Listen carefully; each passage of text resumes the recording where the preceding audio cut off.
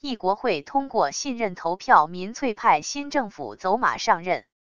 意大利民粹派新政府取得国会两院信任，今天正式入主这个欧洲第三大经济体的执政体系。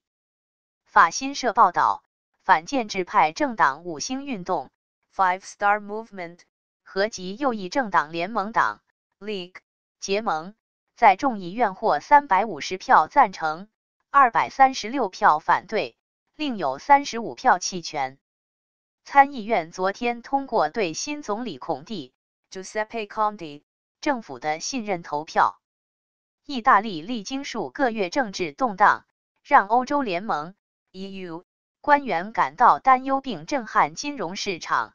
新的执政联盟一日宣誓就职。五十三岁的孔蒂来自学术圈，是个政治新手。国会两院投票通过。授权孔蒂执行改革政府的计划。新政计划结合大幅减税及反总结措施，例如保障最贫穷民众每月能获得基本薪资。但意大利债台高筑，这项计划让许多国内外观察人士感到担忧。新政府也对移民采强硬态度，承诺抑制新移民入境，并加速驱逐非法移民。